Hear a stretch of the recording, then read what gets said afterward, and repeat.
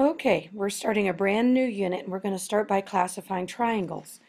Um, we're going to um, make formal geometric constructions and this is to be used in our proofs. We're ready to do more proofs, guys. You can handle this.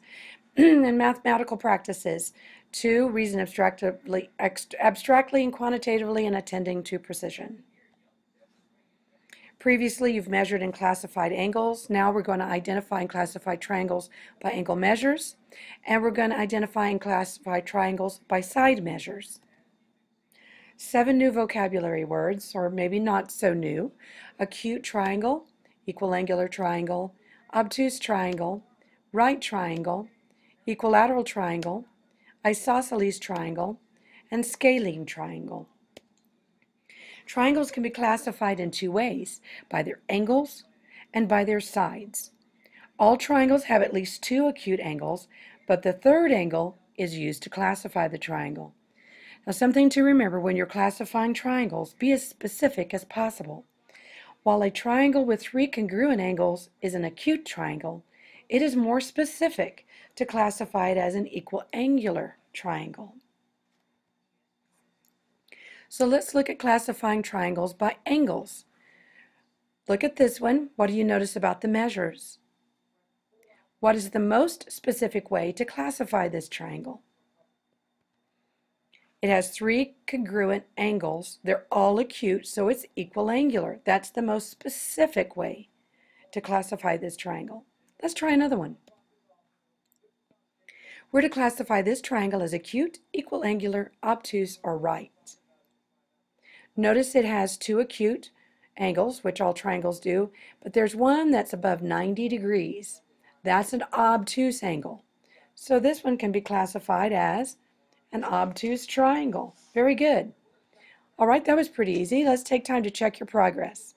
So pause the video and read this problem, then come back and check your answer. Well, remember, this is a triangle. I have never seen any uh, wonky-jawed windows, really. Uh, if it's rectangular, it usually has 90 degree. So we're looking at ACD, and that's an obtuse angle. Let's try this one. Okay, we're classifying ADE this time, and it is a right angle. Very good. Okay, let's move on. Now we're going to classify triangles by angles within figures. So we're asked to classify triangle XYZ as acute, equiangular, obtuse, or right, and explain our reasoning. Point W is in the interior of XYZ. So the angle addition postulate, the measure of XYW plus wyz is equal to xyz. So by substitution, the measure of angle xyz is 40 plus 50, or 90. So it is a right triangle. See, it's pretty easy to figure out it's a right, but coming out with explaining your reasoning, that's where you need to stop and recall other lessons that we've had. Okay, time to check your progress. So pause the video, read through the problem, and then select your answer.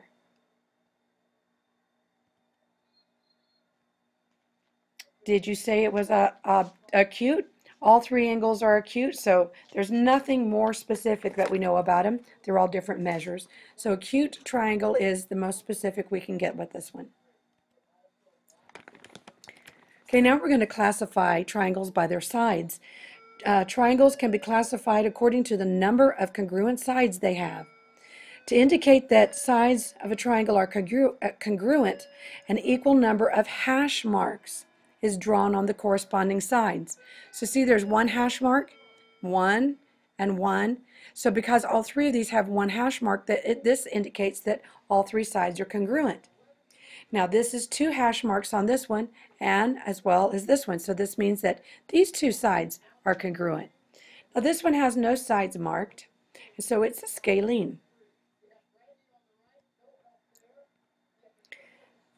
Now this one I'm not really happy with because they didn't put hash marks on this figure, so I'll help you identify those. Uh, the triangle truss shown is modeled for steel construction. Classify triangle JMN, and I will tell you it is scalene. None of the sides are the same, which it wouldn't have been marked anyway because it's scalene. And JKO is also scalene. And OLN is equilateral. They're telling me that OL and LN have the same measure. So knowing that,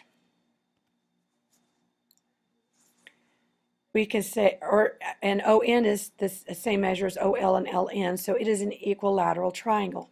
It would have been better if they had marked it like they said they were going to with hash marks. OL How about check your progress on this window frame? So you know uh, that a rectangular window frame is going to have 90s, so maybe that'll help you determine the sides. So pause the video for a moment and come back and check your answer. So A, B, C is classified as an isosceles. AC and BC are the same uh, length. Okay, now we're going to classify triangles by sides within figures. So we're told that point Y is the midpoint of Vx. So that tells us that Vy and Yx are the same measure. They're equal to each other by definition of midpoint. Angle or segment addition postulate tells us Vy plus Yx is equal to Vx. By substitution, since we know the measurement of Vx is 8.4, we'll substitute that in. And since Vy is equal to Yx, we're going to substitute a Vy in for Yx. Now we've got 2 Vy is equal to 8.4. Divide both sides by 2. Now we know the measurement of Vy. So Vy is 4.2. VW is 4.5. YW is 3 units, so none of the sides have the same length. This one is scalene. Time to check your progress. So pause the video for a moment, work the problem, and then come back. This one is at least marked for you.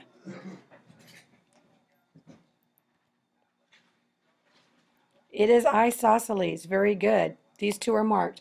You can also set it up by definition of midpoint. The BC is equal to CD. So you can find out the measure of BC comes out to be 1.7. And this is 1.2, 1.2, 1.7. So you know they're not all three the same measurement.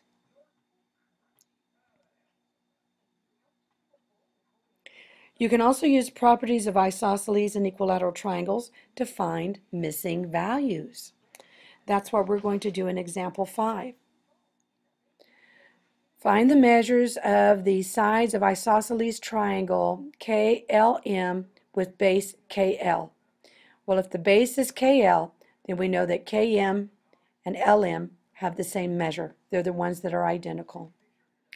So first of all, we're going to set KM and ML equal to each other and simply solve for D. So we're going to add D to both sides here, and then we're going to add 13 to both sides, and then divide by 5. So D is equal to 5. You might take a quick note of those measures before you, uh, and pause the video and do that before you go to the next slide. Okay, so Km is equal to 40 minus 13. You're going to substitute a 5 in for D and solve. Because ML is equal to Km, we know that once we find the measurement of ML, we've found the measure of Km. Now we just do the math for KL. If D is set, um, 5, 5 plus 6 is 11. So the measurement Km is equal to ML, which is equal to 7, and KL is equal to 11. All right, finally time to check your, your uh, progress. So pause the video. I would suggest you draw the figure. That really helps me when I'm working these problems. Then come back and check your answer. Did you get x is 3 and all sides are 10? I set BC equal to A HC and then solve for x and then substituted back in to find the measure for BC. And because we're told it's equilateral, all sides are the same length. Very good. All right, you're ready to begin your assignment.